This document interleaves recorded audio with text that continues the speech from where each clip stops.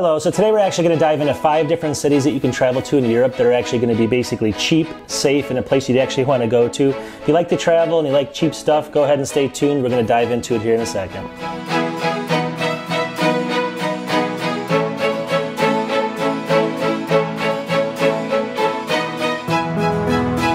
So let's get into these really quickly, and I'm going to go through all five for you. Now, these are these are going to be cities that you can go to in Europe that you actually really want to go to. You actually are going to enjoy, and you feel safe when you go to them. Um, and like an opposite, uh, just to show you what an opposite would be, is a great city that you want to go visit. Definitely would be Zurich, but the cost of the city is just you know obviously you don't want to spend $18 for a Big Mac meal, which is totally crazy, or $50, $60 on a small steak. So these are going to be cities opposite of that. They're going to be great. Well, I guess half opposite. They're going to be great cities to visit, safe, but really cheap. So you can go there, enjoy yourself. You can get, you know, basically five star accommodations for under $100. You can get um, a beer for maybe under a dollar. You can get food, a meal for maybe five, six dollars, somewhere in that range. I'll go ahead and break down some of the prices for you as well. So anyway, stay tuned. We're going to go through five of them. It's not the only five, but it's going to be five that you guys can check out right now. Number five, Budapest, Hungary. Go ahead and check out Budapest. It's basically about 100 miles east of Vienna if you're out in that direction. Great city, great old town, and actually they love their thermal baths. You can see one of them here. Great time just to spend the day out and float in the thermal baths with the Hungarians. They also have great architecture. Here's the Hungarian Parliament building along the river, so go ahead and check this out as well. You can just walk around the town all day. And if you're a food lover and you like Hungarian goulash and things like that, definitely check out the downtown area. They have food halls like this built in some older buildings, so it's a great time, makes a great afternoon. Alright, so some of the costs that you can see in Budapest is about $89 a night in May for a hotel room, 4 stars. Meals are about $6.95, domestic beer is about 169, cappuccino is 159, bottle of Coke is 108, and a taxi rate per mile is 166, so it's pretty inexpensive. Number 4, Warsaw, Poland. So Warsaw is another great place to visit. Uh, obviously, you want to go probably in the spring or summer, uh, not so much in the winter. It's a great, got a great old town, great shops, great restaurants, great food. And also, one of the things that a lot of people don't know about it, it has a, a brand new section also, as well as the old section of, of, Warsaw. So you can visit either the old and the new, and uh, meet all the different people there. Very nice people in Poland. And then finally, the food is incredible there. Uh, obviously, if you like pierogies and things like that, sausages, sauerkraut, um, cucumber soup, things like that, you're going to love Warsaw, Poland.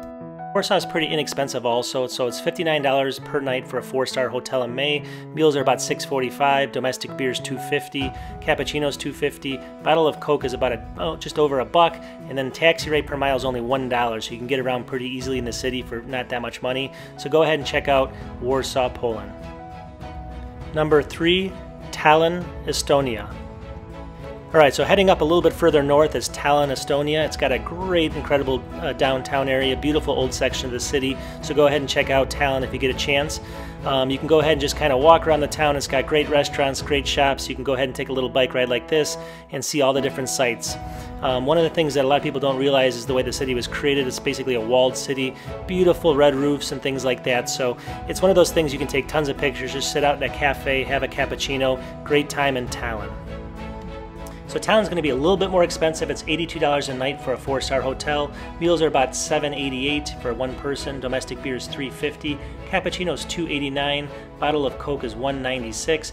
But the taxis are really cheap again. It's only about 90 cents for a taxi in the city, so you can get around really easily. Great town to visit. Number two, Prague, Czech Republic. So here's one of my favorite places to visit. If you go there, you can definitely see all the red roofs, all the people. It's very festive. Got tons of food, great beer. Just a great place overall to visit. Go in the summer though. I, I recommend the summer.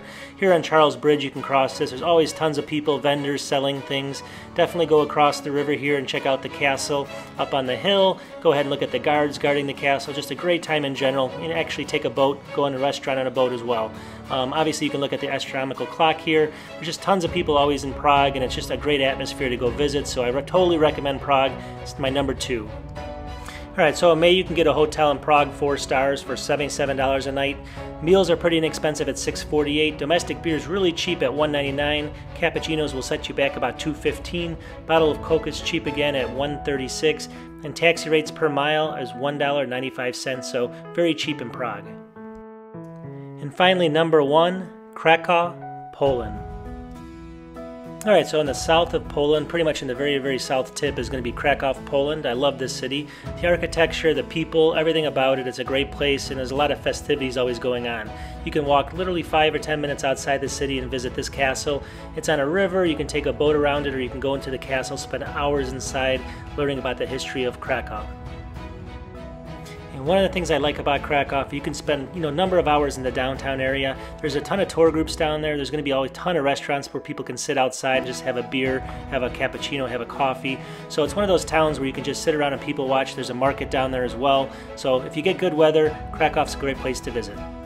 It's also pretty inexpensive. It's going to be $78 for a four-star hotel.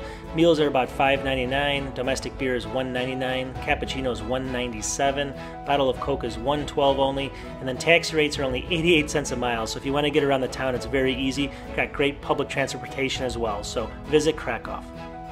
Anyways, thanks for watching my channel. And again, I do uh, videos on basically finance, I do them on uh, technology, I do them on travel. So um, I post maybe two to three videos per week. So please subscribe if you can help me out. I'm just trying to get my subscriber base up a little bit.